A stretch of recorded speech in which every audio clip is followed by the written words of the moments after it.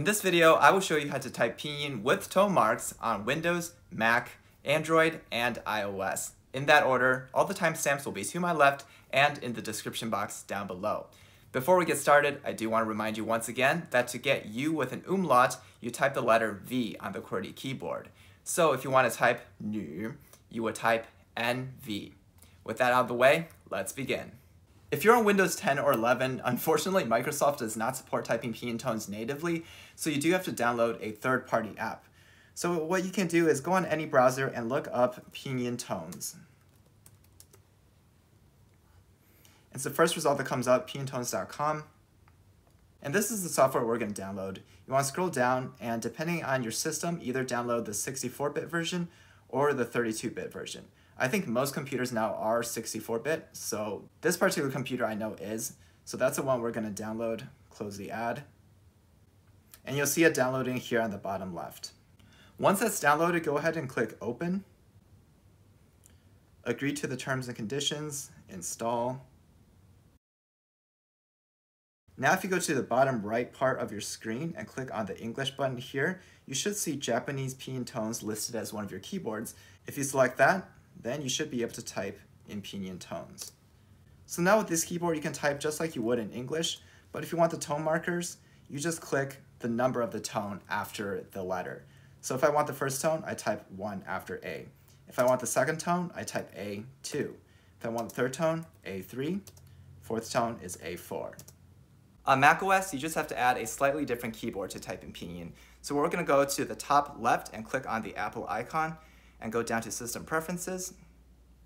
From here, click on Language and Region, and on the bottom, Keyboard Preferences. So you'll see that we already have the US English keyboard as well as a Pinyin simplified Chinese keyboard. And you click on the plus button to add a new keyboard, and the keyboard you'll need is the ABC extended keyboard. So this keyboard will type just like a regular English keyboard, but it also adds special symbols, including the ones you need to type tone marks. Once you have that added, you can either click this flag icon on the top to switch between your keyboards, or you can use the shortcut caps lock to toggle between them. Just make sure you have this setting selected. Now with the ABC extended keyboard, you can either just type normally in English, or you can add the tone markers with a few shortcuts. The shortcuts are Option A to get the first tone, Option E to get the second tone, Option V to get the third tone, and Option Grave Mark to get the fourth tone and that's just the key to the left of your one key. And to get your tone marks over vowels, just type the vowels after the tone marks. So option A, A gets you A with the first tone. Option E, A gets A with the second tone. Option V, A gets A with the third tone. And option grave mark, A gets A with the fourth tone. On Android, it doesn't matter which version you're running as long as you're using the default, which is Google Gboard. The first thing you need to do is to add the pinyin keyboard, and a quick reminder on how to do that, go to Settings, Languages, and then from here, add a keyboard, and you're looking for Chinese, and you can add it that way. Now, once you have the Chinese keyboard, all you have to do to get the pinyin tone marks is to do a long press. So if you do a long press over a vowel like A, you'll see that the first tone, second tone, third tone, fourth tone, they all pop up. And that allows you to type with tones. The problem with this keyboard is it does not allow you to type consonants and vowels on the same keyboard. So it's actually really tedious to do it on Gboard, unfortunately.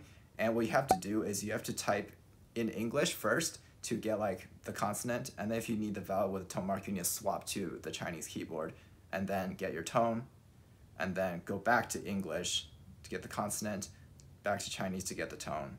It's not a great system, so I wouldn't recommend doing this all the time. On iOS, as long as you have the Chinese pinyin keyboard installed, you can type pinyin tone marks. So quick reminder, to install a new keyboard, you want to be in Settings, go to General, Keyboard, and then tap on the keyboards on top, Add New Keyboard.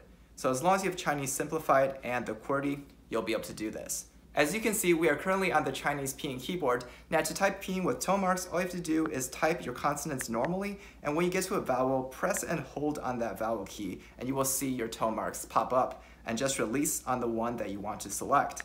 Now the problem is, when you get to a pinyin where you just want to type two letters without any tone marks, you do have to toggle back to your English keyboard for it to set. Otherwise, it will give you a Chinese character. And then if you want to go back to typing pinyin, toggle back to European keyboard. Again, press that globe button to toggle. And now we can type with tones again and toggle back to English to type without tone marks.